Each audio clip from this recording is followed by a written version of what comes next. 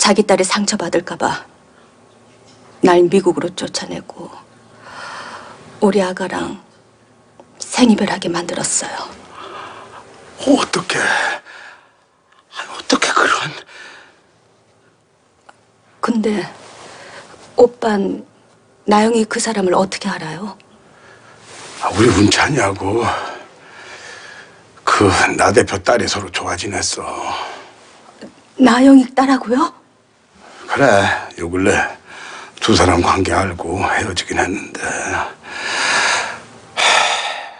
문찬이가 나영이 아들일 줄이야.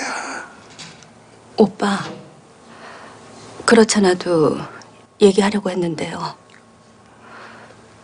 우리 아가 나영이가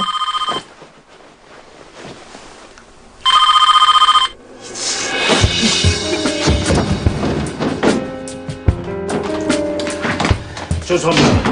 늦은 시간에 여기까지 오시라고 해서. 당신이 멀쩡히 살아있는 지원이를 죽은 걸로 만든 거였어? 우리 아버지 그렇게 만든 것도 모자라 지원이까지? 그리고 또 당신이 사람이야? 아니 왜 이러십니까? 뭐? 왜 이래? 아니 지원이를 미국으로 내쫓은 것도 모자라 한국으로 들어오자마자 납치까지 해놓고 뭐? 어떻게 가증스럽게 아니 납치라뇨. 지원이가 납치를 당했단 말입니까? 아니 그럼 당신이 한 짓이 아니란 말이야 죽은 줄로만 알았던 지원이가 살아있는 게 충격적인 걸 저도 마찬가지입니다. 근데 납치라뇨.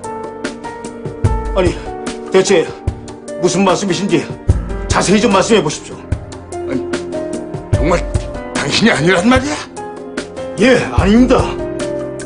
지금 지원이 어디 있습니까? 제가 꼭 다시 만나야 합니다.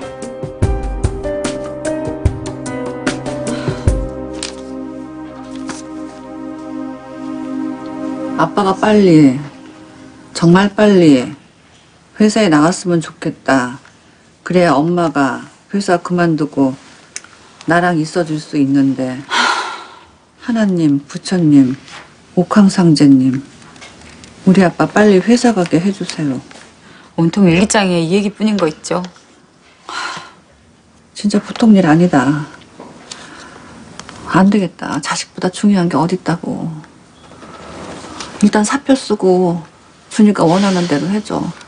준이가 이렇게 원하는데 그러려고 했는데 준이 아빠가 퇴직금에 눈독 들이고 있어서 기서방이 퇴직금에? 기서방하고 같이 일하자고 했던 김 변호사가 3천만 꿔달라고 하나 봐요. 그 사람 잘 나간다며 돈도 많고.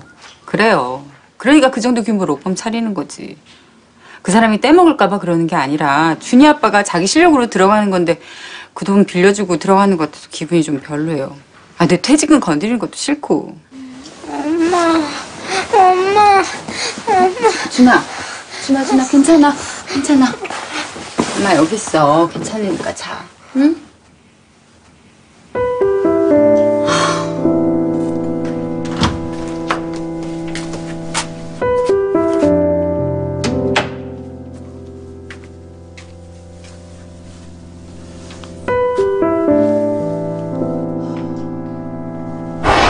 뭐야 우리 장모님 노후 대비 작업인데 어떻게 눈독을 들여? 사회가 돼가지고 호강 한번 시켜드릴 망정.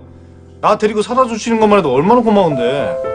아 아무튼 네가 돈 때문에 인간도 아니고 나도 러펀 기업 하루라도 빨리 했으면 좋겠으니까 돈 어떻게든 알아볼게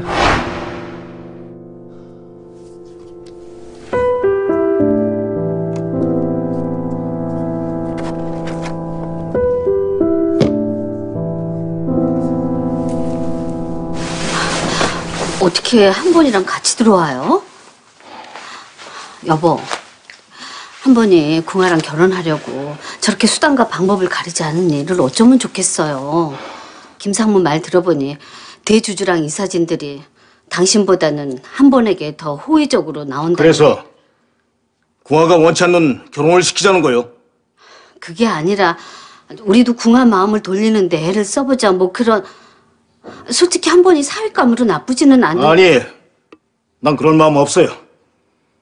한번 같은 인간한테 우리 딸 맡길 수 없다고. 여보